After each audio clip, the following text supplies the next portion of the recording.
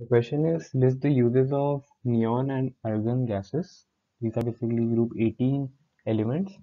So we use neon in discharge tubes and fluorescent bulbs for advertisement display purposes. Neon bulbs are used in botanical gardens and in greenhouses.